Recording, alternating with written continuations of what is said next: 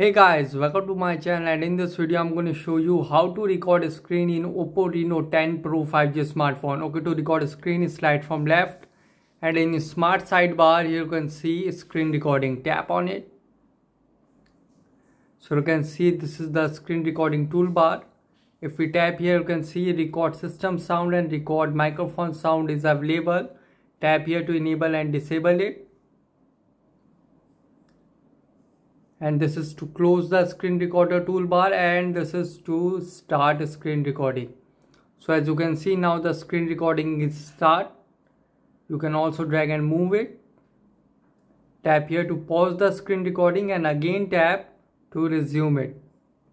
So now the screen is recording of Oppo Reno 10 Pro 5G smartphone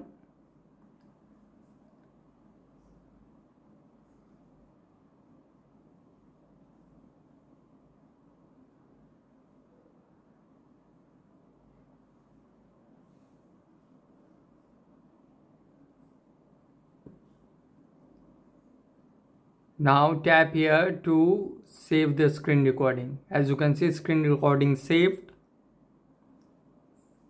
So as you can see now the screen recording is start. You can also drag and move it. And again tap to resume it.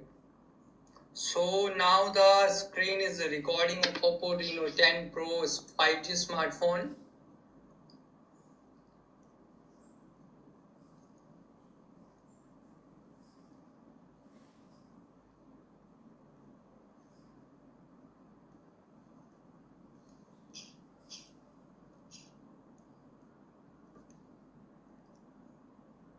now tap here to save.